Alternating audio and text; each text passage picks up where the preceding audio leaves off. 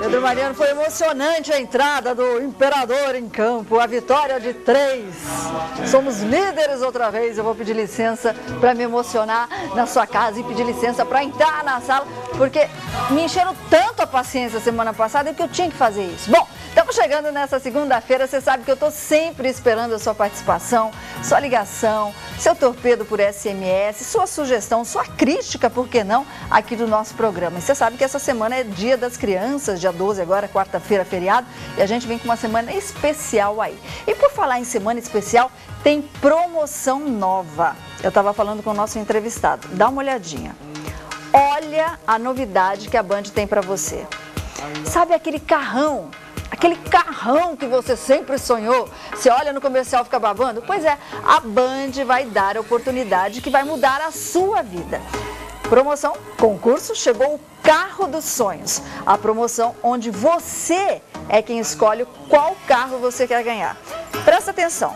Você quer, por exemplo, uma Mercedes? Você quer um Volvo, um Mini Cooper?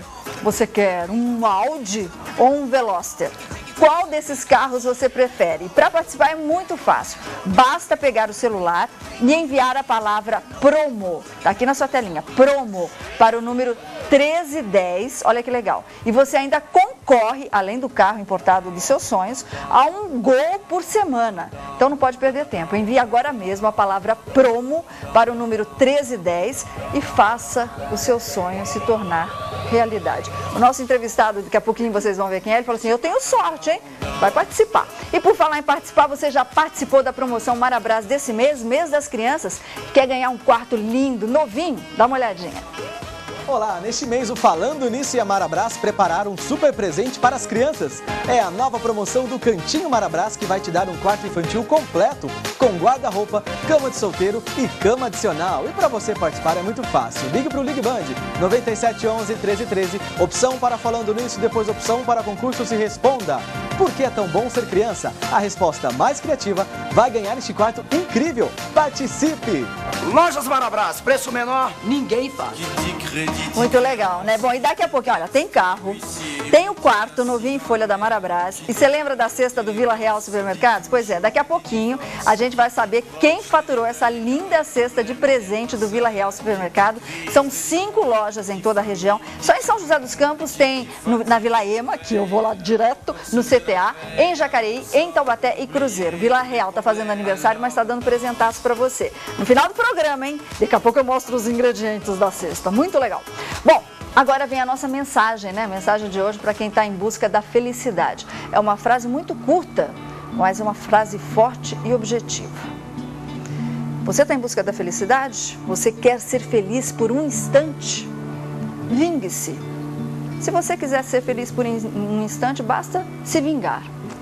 Agora, você quer ser feliz para sempre? A felicidade que dure? Então você perdoe. Nem sempre é fácil perdoar mas faça sempre esse exercício, porque se você parar para pensar, será que você também não precisa do perdão de alguém? Será que você não quer o perdão de alguém? Então guarda essa frase. Se você quiser ser feliz por um instante, vingue-se. Se você quiser ser feliz para sempre, perdoe. Fica aqui nosso recadinho para você. Bom, e você sabe que toda segunda-feira é dia de saúde. E nessa semana, que é a semana do Dia das Crianças, o assunto é voltado para elas. E claro, para os papais e para as mamães também. Diarreia e a tal da insolação. Como é que a gente previne as doenças de verão que está chegando aí na garotada? Dicas de saúde.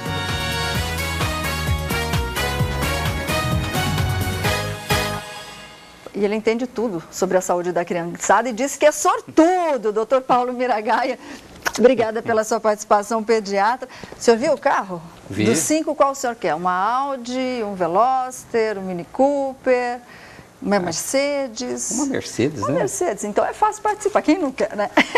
Bom, doutor Paulo, a gente vai começar porque o verão daqui a pouquinho está chegando. Aliás, essa semana mudam os relógios eu, particularmente, gosto muito. Mas a gente vai entrar no horário de verão e aí começam também aquelas férias, o descanso da garotada e junto vem a alimentação que muda, o descanso que acaba mudando também, os horários da criançada. É, quais os cuidados que os papais e as mamães devem ter para evitar doenças nessa época de calor? É, a principal, né, a diferença do, do verão, do inverno, né, que no inverno as doenças estão muito ligadas com alta concentração e baixa ventilação dos locais. No verão, a pessoa já fica mais exposta às intempéries de tipo sol, é, se esquece de se hidratar, começa a fazer exercícios fora de hora, levam em lugares né, que muitas vezes não tem uma proteção adequada, tipo sombra. Então, assim, quando tira férias, a pessoa viaja para algum lugar, tem que saber o que está acontecendo, saber como que é o clima na região, conversar com pessoas que já esteve nesses locais. Então, assim, no verão, daí começam as doenças também infecto-contagiosas ligadas à parte de doenças gastrointestinais, tipo vômito, diarreias, infecções. Então, assim, o importante é, é sempre estar tá prevenindo, né? Então, por exemplo, já na, no primeiro ano de vida, nas redes públicas né, de saúde, já tem uma vacina que é do rotavírus, que é dada no SUS, que é contra a diarreia mais comum, que é a diarreia do rotavírus. Olha, então antes de sair de férias, de repente a mamãe e o papai podem Já tem isso. a vacina. Então, essa criança, é essa vacina é para criança até seis meses de idade. Olha a dica aí de um né? pediatra renomado aqui, quer dizer, antes de sair de férias, seis meses de idade, até seis meses pode é. tomar essa vacina. É. A gente vai falar sobre tratamentos, cuidados, mas o povo da rua está curioso. Um ao vivo primeiro? Vamos lá. Alô, boa tarde. Boa tarde. Quem é? É a Milena. Oi, Mi, tudo bem, linda? Tudo bem. Que tal um carro importado na sua garagem? Hum, nem me fale. Pena que a gente não pode participar, mas diga lá, minha linda. Então, doutor, eu tenho 13 anos hum. e eu passo, eu já tive problemas no estômago, de gastrite, tudo. E aí do, da gastrite passou para a barriga, uma dor muito forte que eu tenho todo dia. Hum. Aí, toda vez que eu almoço, que eu janto, como alguma coisa, eu vou direto pro banheiro. Às vezes é diarreia, às vezes o intestino preso. O que isso pode acontecer? Será que é por causa do verão ou alguma coisa? Você chegou aí no médico? Cheguei. Que Fui que no ele... médico, ele passou o exame de colonoscopia. Tá, vamos lá. É sempre uma orientação, viu, minha linda? Aliás, para todo mundo que está assistindo, porque o médico daqui também precisaria fazer exames, uma anamnese melhor para poder orientar, né? Falar, é isso realmente mas pelos sintomas que ela descreveu, doutor é, Paulo. É, isso daí passa assim, por uma, várias patologias que podem ocorrer, né? que vai desde uma verminose, uma, um ascar, uma doença infecto-contagiosa, uma alergia alimentar, né? a giardia, que é comum, isso falando das doenças comuns. Se o colega pediu uma colonoscopia, ele já deve estar pensando em alguma doença inflamatória, tipo úlcera, alguma outra doença mais séria, né, que precisa ter um, um investimento, uma investigação melhor. O que, que ela deve evitar para pelo menos é, não sair correndo para o banheiro, como ela fala, ela acaba de co comer, tem que ir correndo para o banheiro. É, começar a ver quais os alimentos mais comuns que ela está nesse momento, está causando isso, ver se tem alguma coincidência. Muitas vezes ela toma leite, está tendo só com leite, de ver se ela começa a fazer muitas vezes uma dieta de exclusão para ver se aquele alimento é que está causando.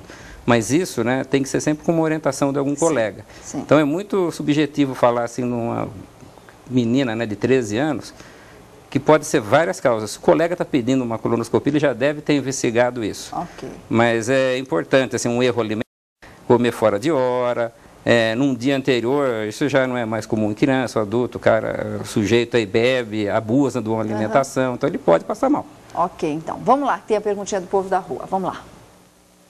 O que que... Notícias... Felipe... Aliás, o Felipe voltou de férias, ele está queimadérrimo. Doutor Paulo, daqui a pouquinho a gente então confere aí o povo com as suas dúvidas, né, lá da rua, mas agora a gente confere também notícias da redação.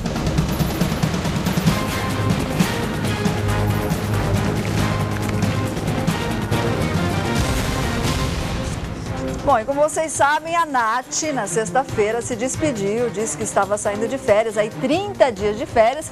E quem está aqui com a gente, quem fala hoje com a gente, é a nossa querida amiga Shirley Souza, que está cobrindo as férias da Nath. Aliás, Shirley, seja bem-vinda, minha linda, saudade. A última vez que eu te vi aqui foi nos Car Fashion Days. Pois é, Sol, pois é, muito obrigada. Estou super feliz de estar aqui fazendo as férias da Natália e se divertindo com o pessoal falando nisso, né? Pois Tem um é. monte de notícia boa. Pois é, começando, a Shirley já veio dando aí o pezinho de coelho, a primeira notícia boa para quem tem restituição do imposto de renda, né, Xi? É, isso mesmo. A gente faz a restituição meio tristinho, mas fica feliz na hora de receber, né?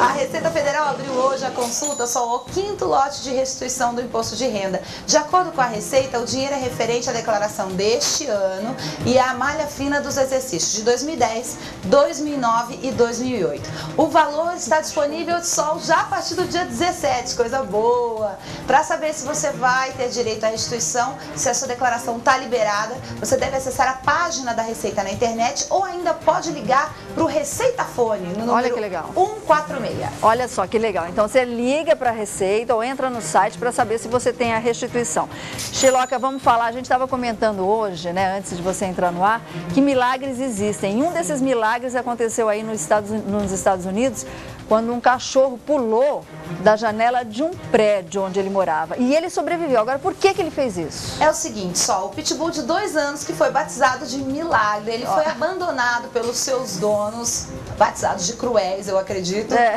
num apartamento vazio junto com outro cachorro. Segundo a equipe de proteção aos animais, o milagre pode ter passado até, o milagre e o outro cachorro que estava com ele, pode ter passado até dois meses Olha. sem receber qualquer cuidado. Dá só uma olhadinha no- na foto do Pois milagre. é, eu vou, depois assim, eu vou pedir a marvada Ai, pinga, você- porque a produção esqueceu de pôr Ah, a eles foto. do roubaram uma cachorro. foto do É, mas tá no milagre. site, tá, tá- tá na internet o Olha milagre. só, o milagre ele pulou só, como você disse, do terceiro andar e sobreviveu. Segundo as equipes de resgate, essa foi uma tentativa desesperada, uma última tentativa desesperada de encontrar comida. Após a queda, o milagre teve que passar por uma cirurgia de emergência no quadril e ele está recebendo tratamento veterinário. Mas ele é muito fofo, tá na internet, você pode procurar. Muito legal. Chique, querida, beijo no seu coração. Brigadaço por estar fazendo parte da equipe do Falando Nisso aqui. E obrigado pelas notícias boas hoje. Amanhã eu tô de volta com mais notícias. Se Deus quiser. Bom, chegou aquela horinha de tricotar, Pedro Mariano. Eu vou te contar uma coisa. Ô, Pedro Mariano, eu vou te contar o seguinte. A Giovanna Antonelli festeja o primeiro aniversário das gêmeas, que é a Antônia e a Sofia. Olha que lindas,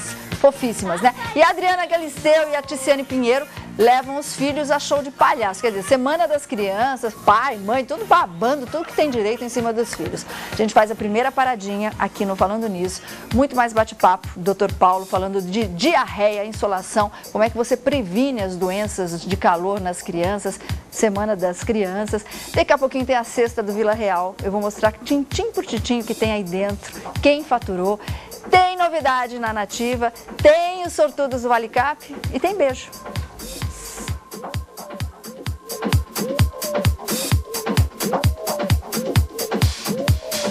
Pra minha família.